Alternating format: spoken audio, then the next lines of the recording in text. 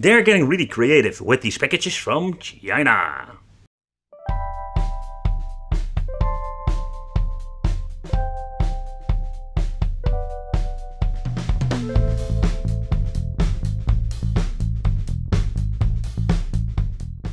It is 2021. And they're still making NES clone system. It's freaking unbelievable, people. I have reviewed here on the channel, I think, almost every single NES and Super NES clone mini I could find. Just check it out what it is. But this time, now in 2021, we're going to have more like the all-in-one systems with the HD, or nevertheless HDMI function. It's a quite interesting story when you're looking at all of these, let's say NES clones, and there was quite some development. So in the beginning they were pretty shitty and a couple of them were pretty decent to enjoy, and some even with HDMI back in the day, but finally we're having an all-in-one system that can basically play 5 different systems, and we're having HDMI function. So let's take a close look what's inside. Okay guys, so this is what we're going to get inside the package itself. So let's begin with the console. Just begin with the best. Okay, this case is something new. More like a black translucent casing and this is the first time I have seen it with an NES clone. I love this, more like bringing something new to the market. But the options like a reset button, power button is nothing new. The same goes for the HDMI out course, but we're having a mini USB in. Kinda weird, old school. But the ports for the controllers are just the old school ports. Take consideration, you, most of the time you cannot even use original controllers from the NES. Then we're having here the controllers, and the controllers, that's even more weird. So this time we're not going to get the wireless version. Sometimes we do get those wireless things, not great, but still. Just the old school wired version. And the wired version, it's quite interesting. As you can see, we're having just four buttons and four shoulder buttons. The shoulder button is more like clickish, and it feels not bad. It comes with a very short, a very thin cable. Yeah, short and not that short like, let's say, the controllers or the original controllers back in the day from the NES Classic. So quite interesting concept. I've never seen this before. And of course, we're having the HDMI cable. That is, by the way, a very long one. We're going to get a USB to mini USB. Sadly, there is no 5 volt adapter, so you need to buy that one separately if you can't use the power from your television. And a save not last for best. User manual, eh, I think there needs to L, but nevertheless, just a basic piece of paper that explains how to connect it, how it works, and not a lot of technical information. So yeah, let's connect it and let's see what we're going to get. Okay guys, so after some messing around, I finally got this thing to work, and the signal output doesn't look that bad. But the menu, here's where it gets really interesting in my opinion, because I have seen this menu many times before, like with handhelds, with arcade machines. So let's, let's see what we can do and what we can, what are going to get with this, because we're having settings, history, game, videos, music, ebook, pictures, file, and settings again. That's quite interesting because this is more like the same stuff. That we're going to get with these handhelds. Language, advanced, we can adjust the screen, information let's check out what it says. Firmware version okay. Here we're having the total free space. So there's not a lot of stuff we can do with it. Oh we can format the internal memory. We'll not do that otherwise you're going to be messing up the system. We can watch pretty picture. We can watch some naughty movies. Listen to some music and of course play some games CPS or arcade Famicom Mega Drive and even having PlayStation 1 support. Ooh, that sounds interesting. And we're having Hack. What the hell is Hack? What the hell is Hack? Okay, so there's some weird stuff going on. But let's take a close look at some games. Let's test out some game because I'm very curious how the emulation is with this thing. Before we're going to start the game, what is quite interesting that we're also having an option to doing quick load, quick save. We're having some settings, so let's take a close look at this. Hey, look what we look at this, we're having screen size. So this is the option that we had with different model handhelds. It doesn't work that perfect like we're getting this very tiny screen. It's not in perfect aspect ratio like 4x3. But it is an improvement and something I've never seen before. And it's if you want to start a game you need to restart it. Yeah, makes sense. Alright, so let's see how this game is running. So far so good.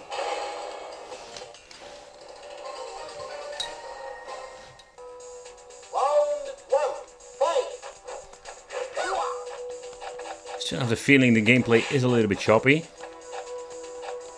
And the D-pad on this thing is awful. I can't get a move out. Nothing. It's so unresponsive. And here comes the major problem with the stupid system, is that we can't add USB controllers, so we're stuck with the shitty controls. Wow, I can do something. Oh, the other part of the D-pad did seems to be working. Yeah, it's more like pressing down and right, that is not working at the moment. Yeah, I would say not bad. Let's press select and start, it will give me the menu itself. But mess around with the settings. Let's see what happens if I'm going to... Whatever. Yeah, never. It doesn't... Beefcake!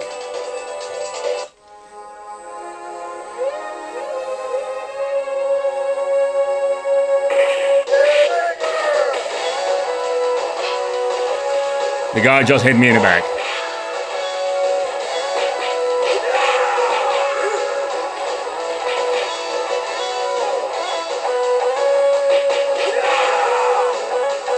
Let's bring the dynamite and blow something up.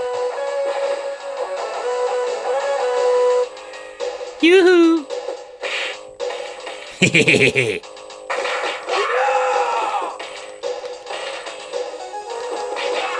Sound effects are here. Music sounds not bad at all.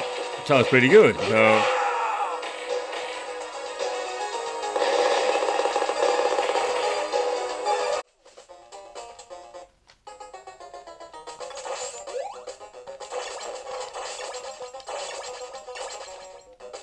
Is it me? I, did I just get hit? But oh, was I didn't take any damage.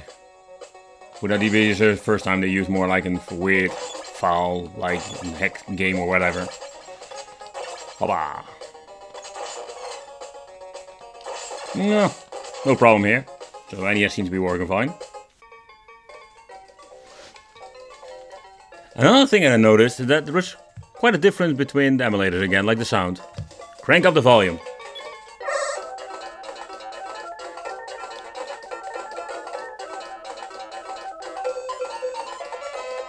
Hmm. I must say, it sounds weird, but I can live with it. Nice frame rate. Looks, everything looks nice. Okay, so let's play the game with the shitty control. Come on, press down.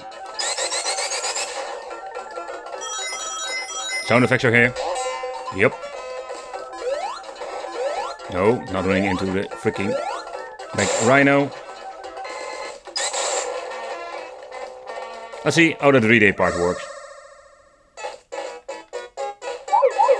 Wow. D-pad. You know, for fighting games, the D-pad is freaking horrible, but for games like this, it's just fine. Okay, next game. I can already hear from the title song that the sound is off. That's like with the first generation of these, let's say Xbox clones or weird stuff they're releasing, the sound was off too. So this is just a big bummer. Show you the bottom. You hear the sound that eh, eh, eh, that's not like should be. Let's see how the sound effects are. See, a couple of seconds delay. So Game Boy Advance is just completely messed up.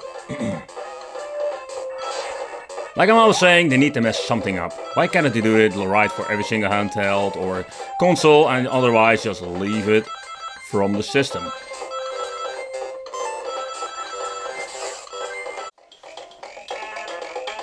Yep, Donkey Kong Country 3, or 2, sorry, I mean 2, sounds like shit.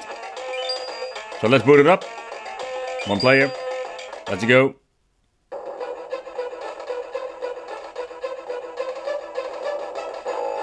You can hear it slowing down. Let's see if we're going to get some choppy image. Oh no, image quality is not bad at all.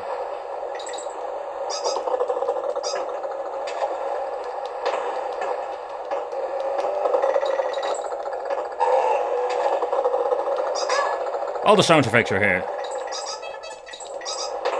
But you can see that the game is not running on the same speed like the original Super NES back in the day.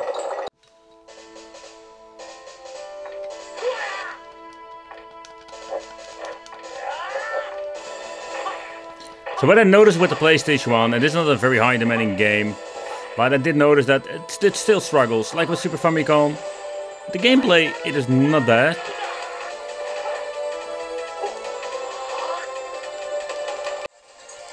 Alright, so let's try another game that is more demanding. Let's see how this is running. Ah, you can see that it's not running that smooth anymore. So that really that is what I wanted to show you. More like when you're having more 3D, 3D graphic designed games, they will have an issue with the system. In my opinion, this is just freaking unplayable. It's a nice effort for getting PS1 on a cheap system like this, but it's like always, a mixed bag.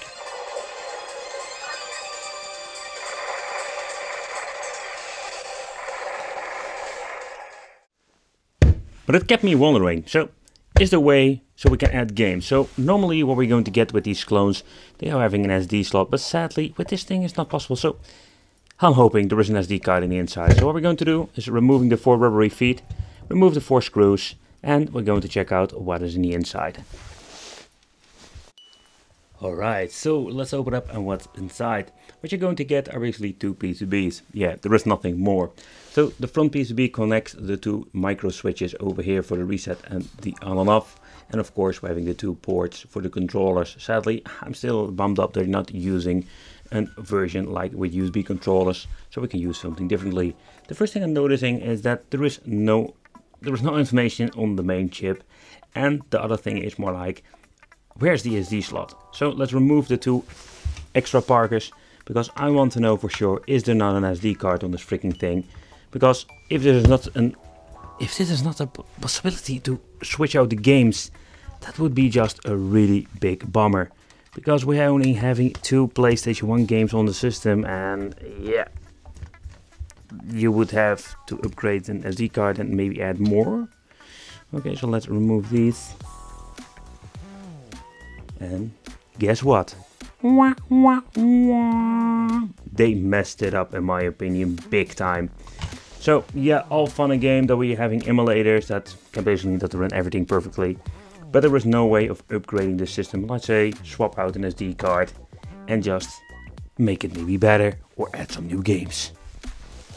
So what you see is what you're going to get. And it is not good. Okay guys, so to begin with the controller. I find it a very unique concept if you look at it. So the four buttons at the front and we're having four shoulder buttons. I wish they would make more of these kind of controllers. Of course high quality because the D-pad is really shitty. Yeah, and they're just using this basic sticker on it. I really like the translucent casing. For, for me, you can just basically remove the sticker and make it full translucent. That would be just great. Just plastic slide and start, nothing special. But in the end, yeah, it's a controller that is not that great in the end. So guys, this system is not bad, but it's not also very great. And the reason why is the problems it has, especially when it comes to the emulation. How can we add games? Oh, wait, we can't. And there are more like these minor problems. And if you combine them all together, it's just not a good product to buy. Maybe the translucent case is great for your collection to put it for display, but if you want to play some games, like some systems will run decent enough to enjoy, but most of them are having a choppy image or horrible sound. Nevertheless guys, I want to thank you for watching, consider subscribing, hit the bell, become one of the Wicked family and let me know in the comments what do you think of systems like this. For you, I love to review them, check them out and let's see how horrible or maybe how good they are. And hit that little bell, subscribe, become one of the Wicked family, and I will see you in the next video.